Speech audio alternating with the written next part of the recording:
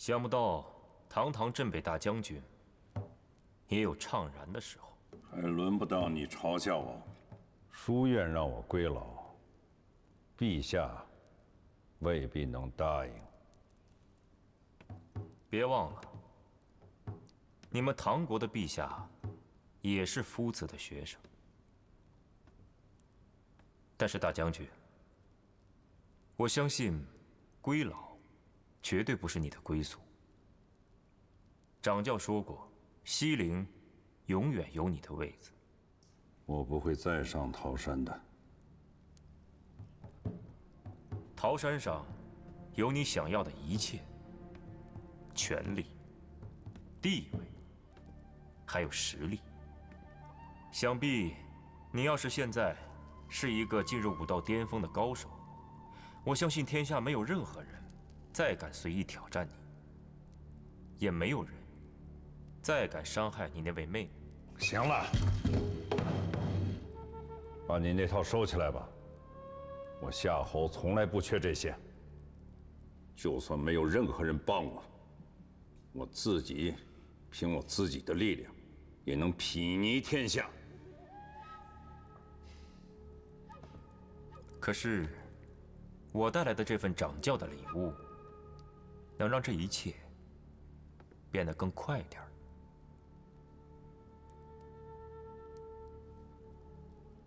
嗯，什么东西？通天丸。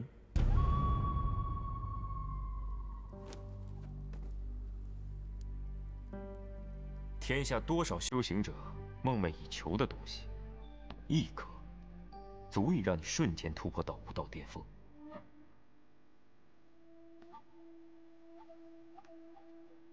但是。你要敢于用神器来结束自己的性命，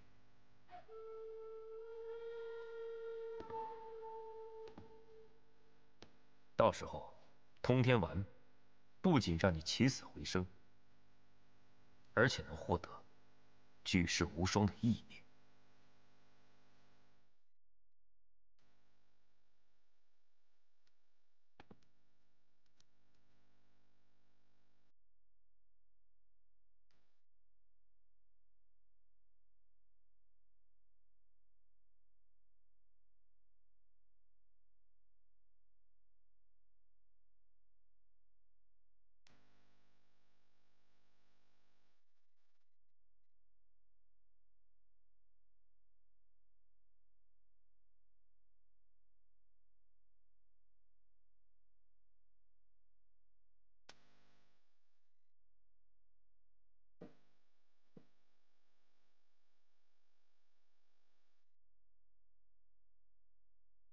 们在桃山等你。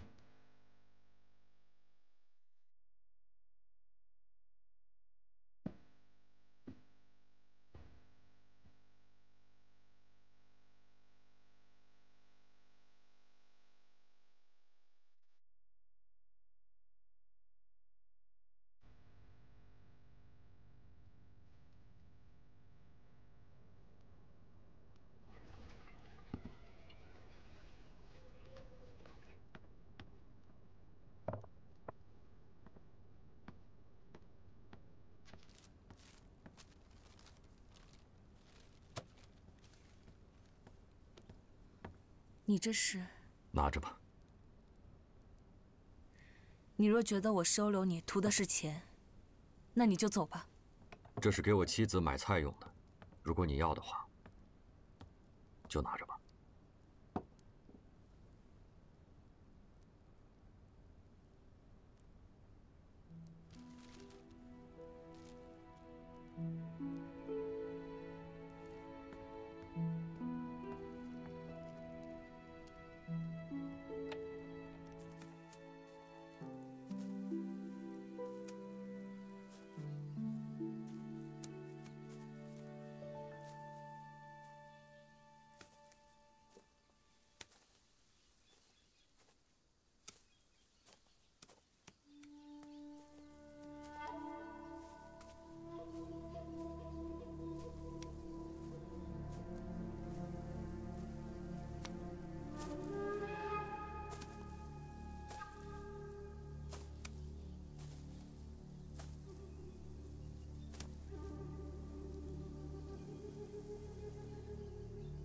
欺凌不可知之地，赤手怪到底在哪里呀？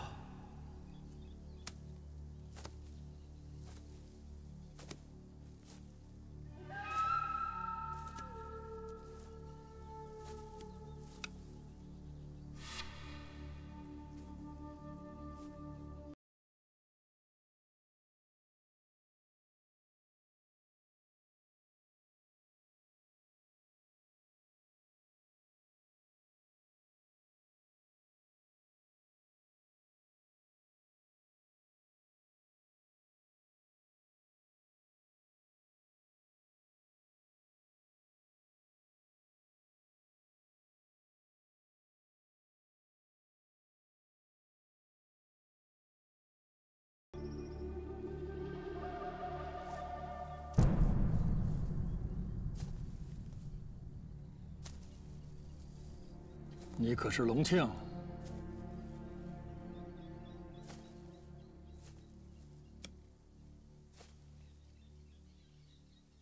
您可是师叔？弟子隆庆拜见师叔。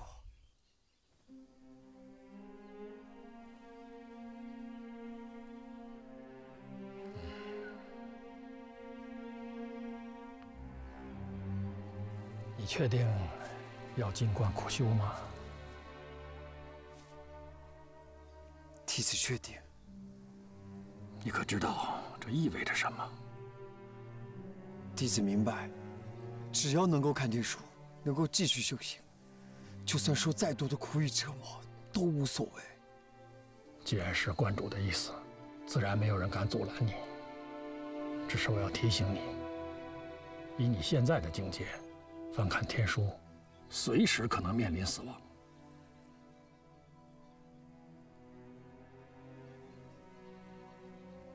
如今的我，本就是行尸一具。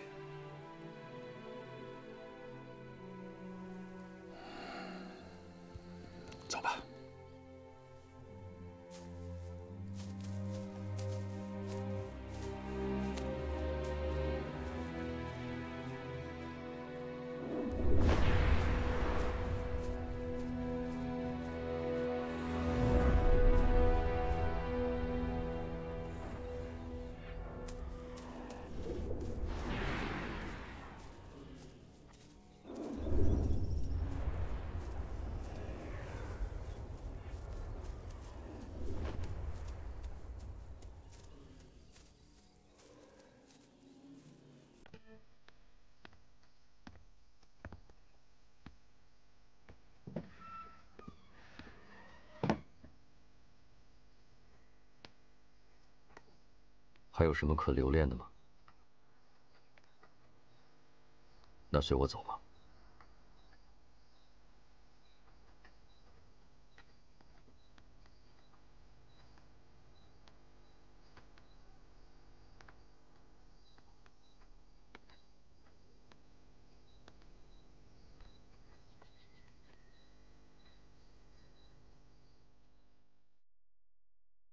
洪庆，这里便是知守观存放七卷天书的地方。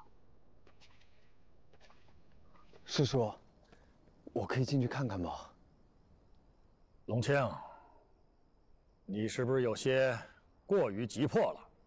弟子只就看一眼。看到天书，感觉不适，马上放下。谢谢师叔，弟子谨记。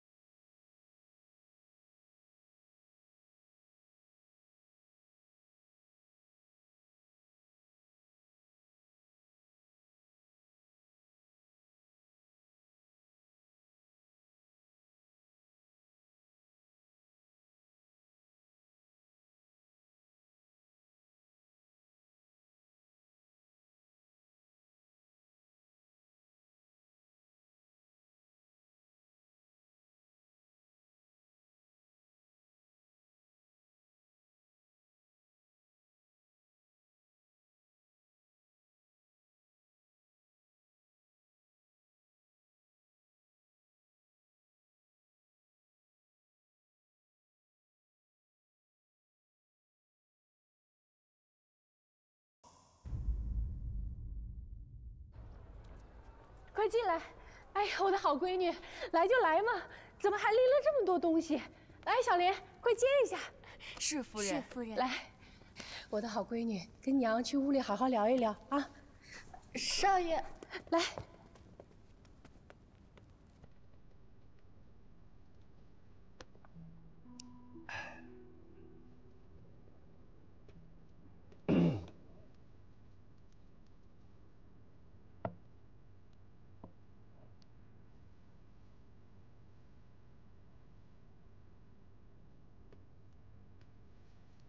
曾代学士，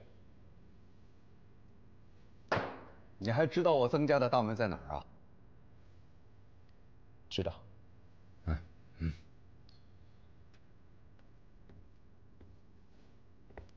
对世人而言，西陵神殿的三大神官堪比国君，尤其是光明神座，可谓是掌教之下，万人之上。是没有哪个父亲舍得自己的女儿独自一人去那么远的地方。他若是去西陵，不会是一个人的。我会辞去官职，跟他娘陪着他一起去的。当光明神官，真的有那么好？那也总好过跟着你混日子吧。那日。你当着那么多人的面，在天宇大神官跟前是怎么跟桑桑说的？今日我和桑桑来到这里，就是想与您商议此事。何事啊？就是那件事。哎，我根本听不懂你在说什么。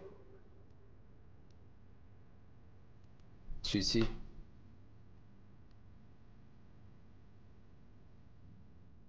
正妻？当然是正的，难道还有歪的？那日后。你还会再纳妾吗？说实话是我想，嗯。但是您觉得可能吗？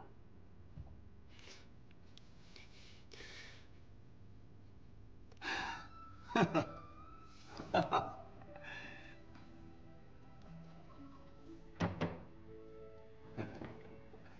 我薛师傅啊，已经很久没有办过喜事了。我已经择好吉日，就在后天，你看怎么样？啊？啊！我不同意。桑桑，我是认真的。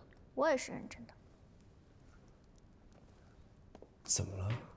少爷，我们还有件大事没办。有什么事儿比结婚的事儿大呀？就是啊。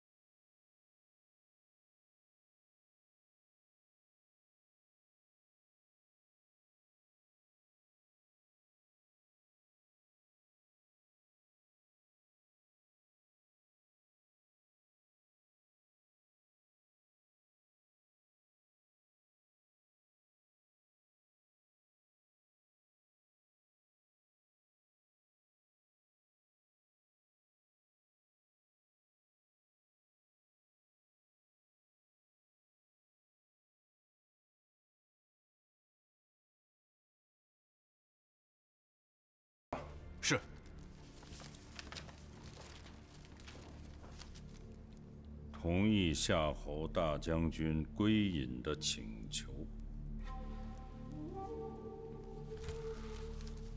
看来真的是要走了，连陛下都不愿意护着我了。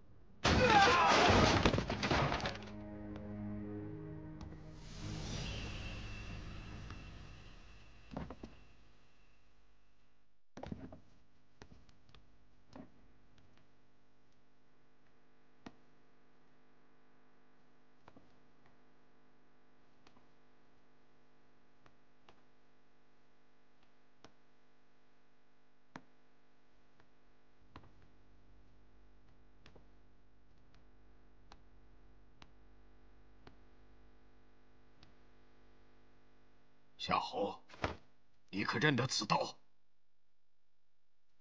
宗主的刀。你还记得此刀？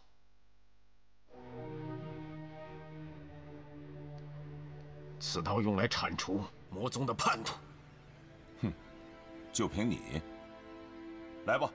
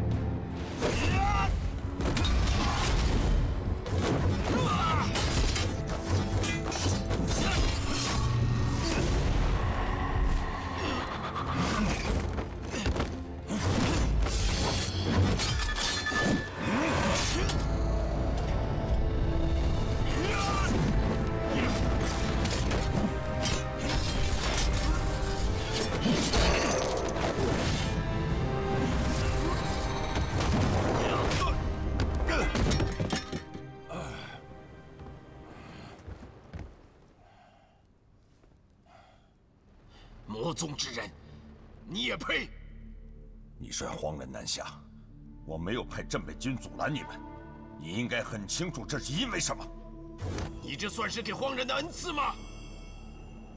你以为我们会心存感激而相信你吗？不可能，你永远都是荒人的叛徒。还轮不到你来指责我。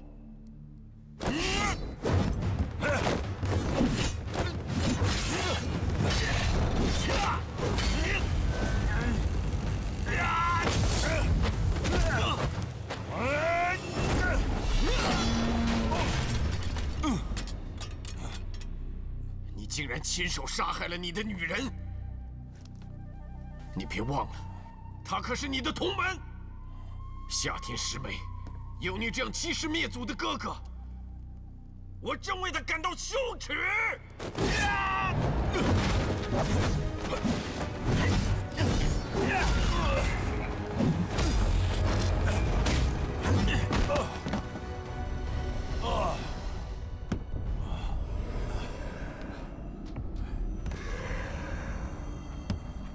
有些事情，我是没得选的。我能活到今天，也不是，也不是我自己能决定的。苟延残喘，行尸走肉，也算活着。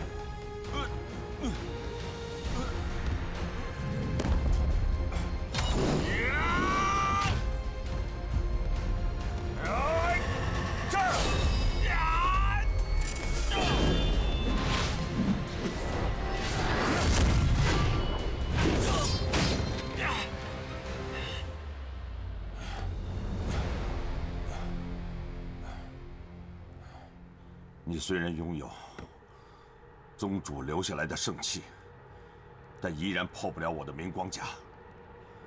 你是杀不了我的。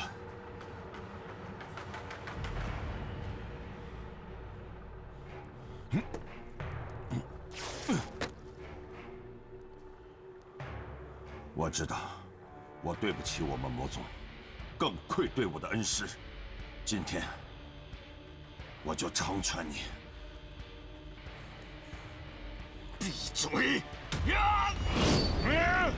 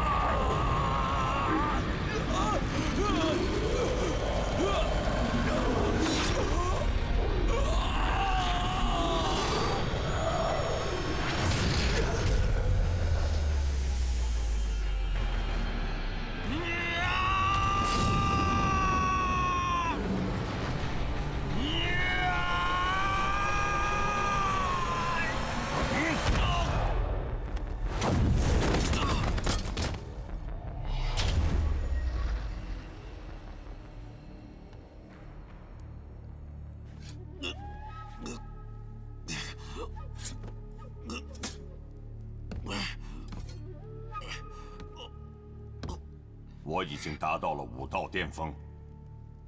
从今往后，这世间再没有人可以战胜我。你竟然利用宗主的刀破镜！唐，你回去吧，带着你的族人走得越远越好。活下去，比你所谓的仇恨更重要。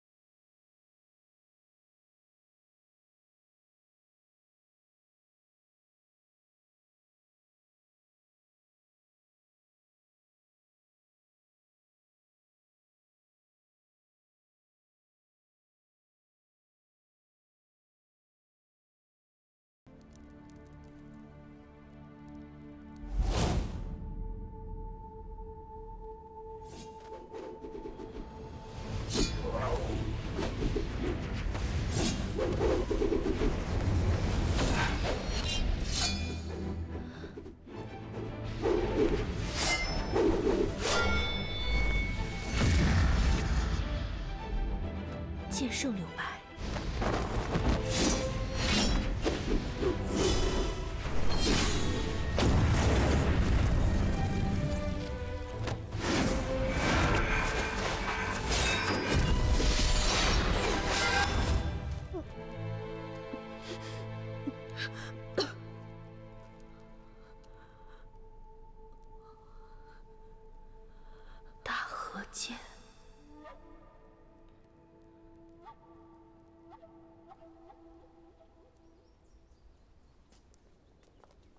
你可知道，我唐国军人最重要的素养是什么？请将军赐教。胸怀天下的气度和眼光。将军果然高明。我唐国虽不惧外敌，却惧内乱。最重要的堡垒，必然是从内部先崩溃。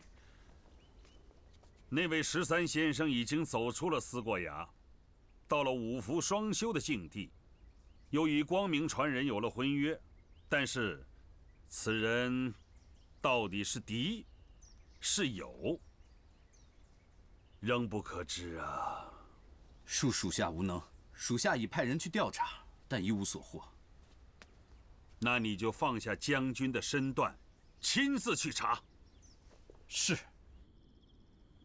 宫中那把龙椅，不是谁想得便能得到的东西，尤其对你我二人而言。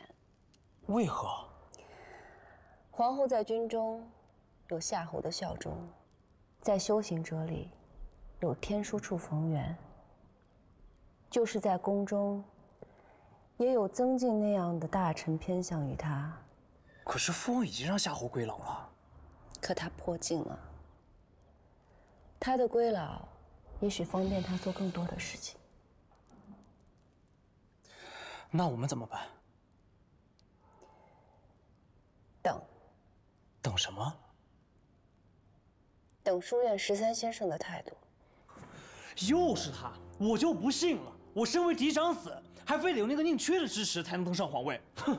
文远，王姐，我非常不喜欢他。王姐，你待他不薄，他却总是不识抬举。不要再等他的态度了，否则早晚我们会被他害死的。别胡说八道。宁缺，你就春风得意吧。我们走着瞧。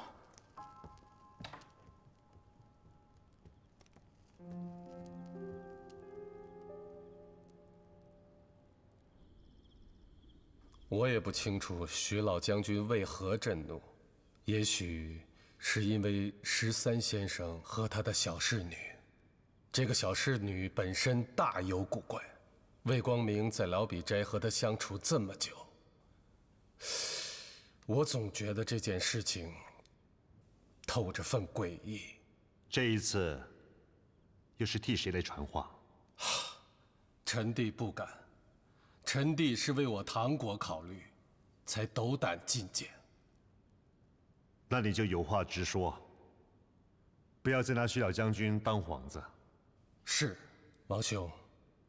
我认为桑桑毕竟是唐人，又是十三先生的侍女，若日后她真能继承光明大神官之位，对唐国总是有好处的。这方面。得看宁缺他愿不愿意，他的事情，朕不干涉。还有，西陵方面，自会有昊天道南门交涉，你和他们少些来往。是，下去吧。臣弟告退。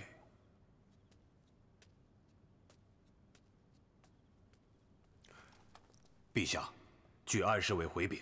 夏侯已破境，到了武道巅峰。帮我把十三先生请来。是。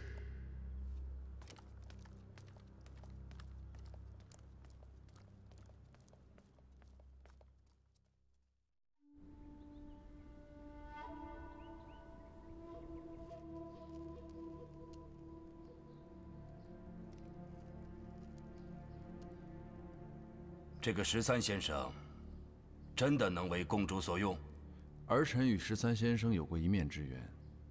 依我看，他与李渔的关系确实匪浅。若真如此，按照信中公主所说，唐国王位日后落在李浑元手中的可能性便会非常大。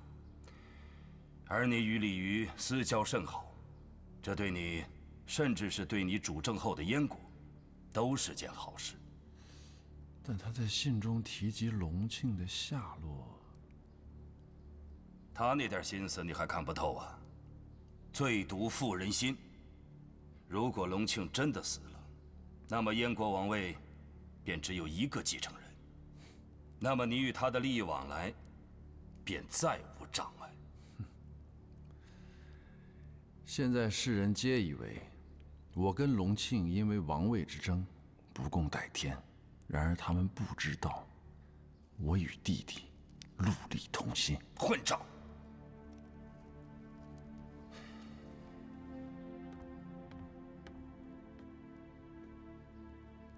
这样的话，以后千万不要再说了。这样的情绪也不可以在外人面前流露出一分一毫。儿臣知错。这十五年，若非是父王在这儿，儿臣在外。绝不敢有任何流露。只是如今隆庆生死未卜，儿臣真的很担心。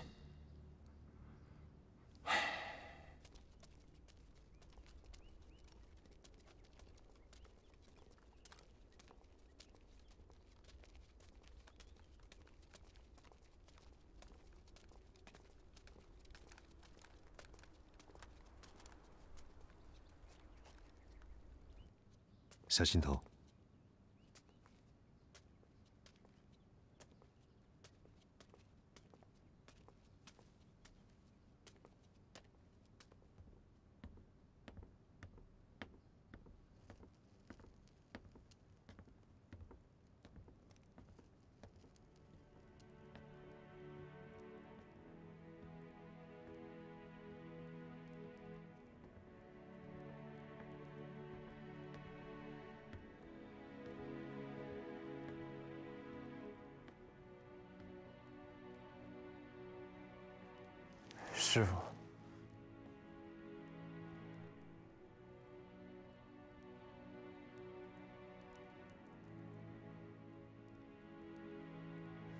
是我师傅留下的符文。你能感受到，不愧为银色的传人。任何人擅自闯入，都会被这些符文所击伤。任何人，那陛下和我，朕乃唐国天子，身具皇气，而你又是这些符文的主人，更是这座镇的主人。朕，你别动。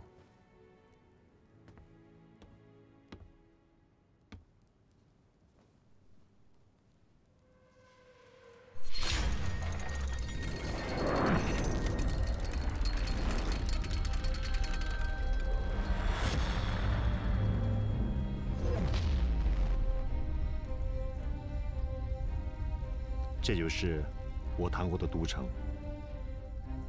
你看，朱雀天街。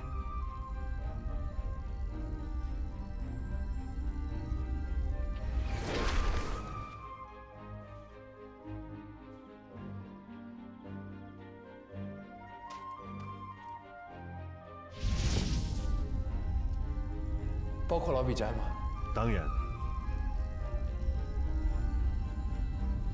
都城之地，都在其中。这个就是精神阵。精神阵，谁做的？你师傅。颜色大师。你已经是书院的十三先生，也是他亲传弟子。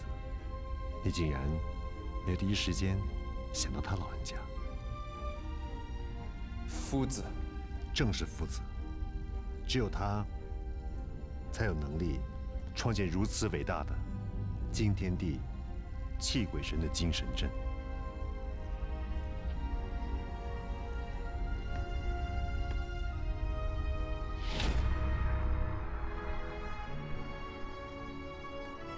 这个就是精神阵的阵眼处。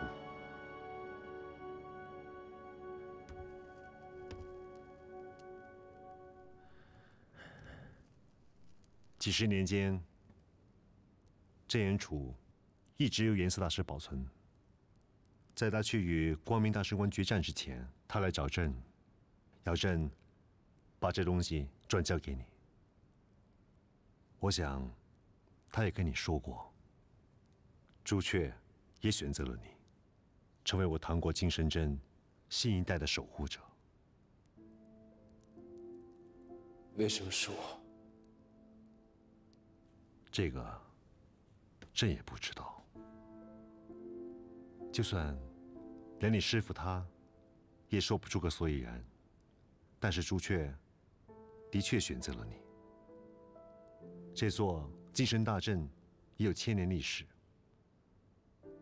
我唐国每一代帝王，都不惜耗费国力，要保证这座大阵的完好。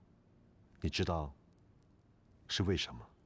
师傅说：“精神阵乃是我唐国最后的庇护。”庇护这两个词用得好。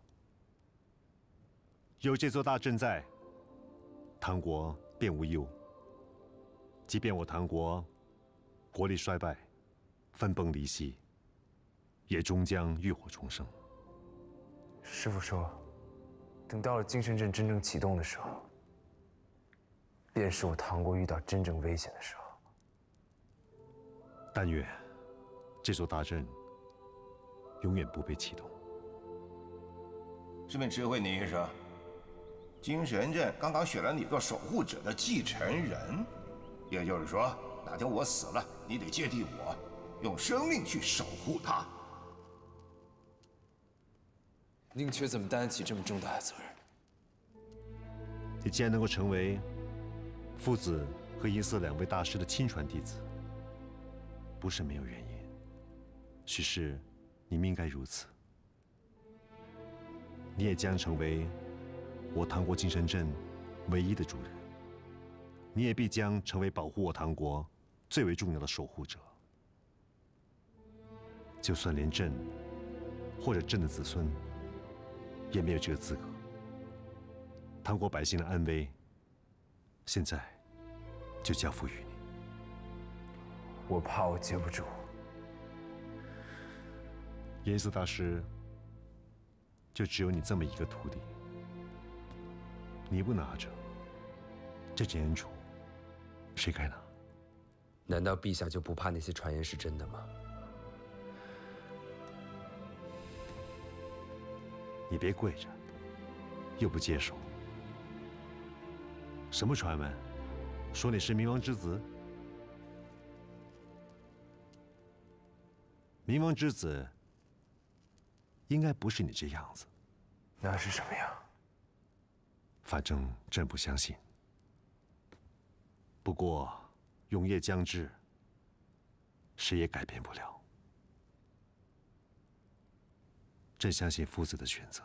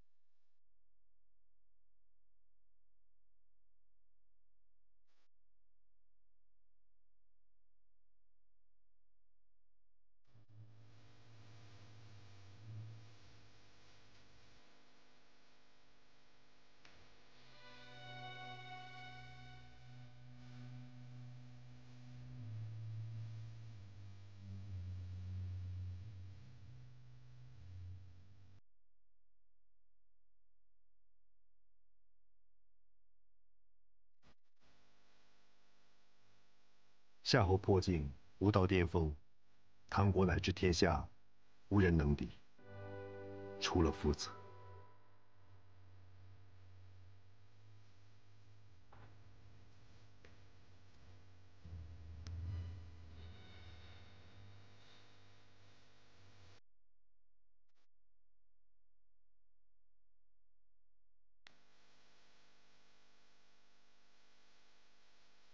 武道巅峰。无人能敌。